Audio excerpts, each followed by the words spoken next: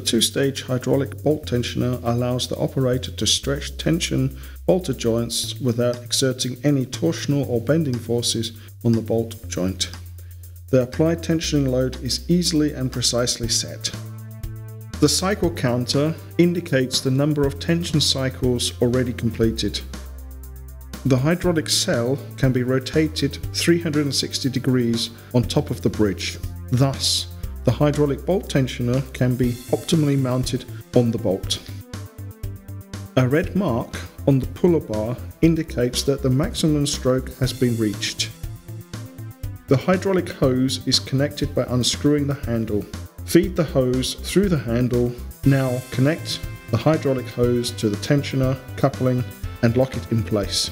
Screw the handle back on the handle subsequently increases the tensioner's ease of use and offers additional protection for the hose and, thus, for the user. Plarad's two-stage tensioners are available in a large variety of standard sizes. They can also be bespoke fabricated to suit non-standard bolted joints. Proceed with the tensioning of the bolted joint following pre-assembly and pre-tensioning. The tensioner is brought into position. The puller bar is screwed onto the bolt to be tensioned. It is important that the amount of thread engagement corresponds to at least the diameter of the bolt. The surface supporting the tensioner must be level and clean and at right angles to the axis of the bolt. If the spring-loaded socket does not line up with the nut, the socket will not engage the nut. As the socket is turned by the gearbox, it will align and be pushed down via the spring-loaded action fully engaging the socket over the nut. Refer to the pressure tensile force chart for the pressure necessary to generate the required applied load. The tensioner is pressurized.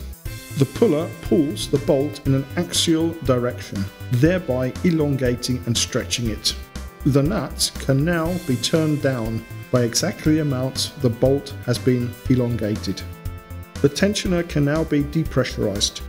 The disc springs housed in the upper portion of the tensioner return the puller bar to its original position.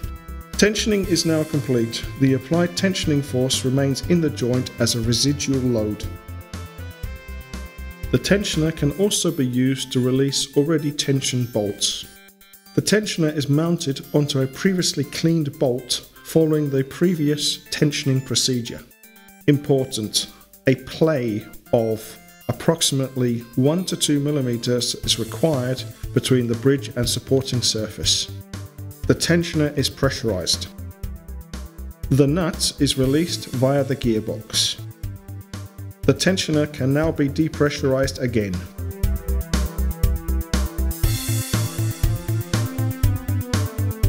The tensioner is unscrewed from the bolt.